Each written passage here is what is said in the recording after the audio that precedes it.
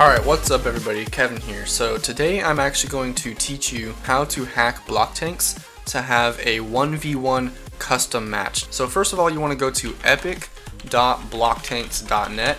Uh, this is actually where all the official like beta server stuff is, I think.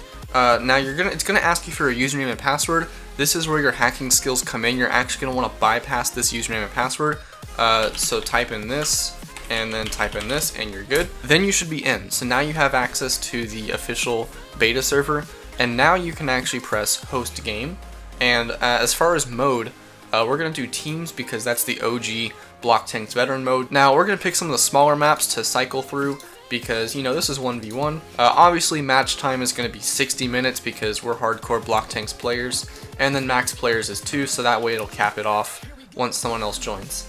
Then all you got to do is click play it'll drop you in a match. You can see it's 60 minutes long, the map is called Shelter, and the mode is Team Deathmatch. Now all you have to do to get someone else in this game is take this link up here and share it with a friend. And then when they join, uh, they'll be in the exact same match, and then they can press join. And you can actually see it's private because it doesn't show up in the game list, and if a third person tries to join, it'll say the game is full.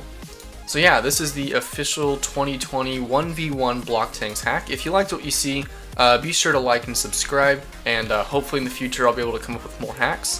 Thank you for watching.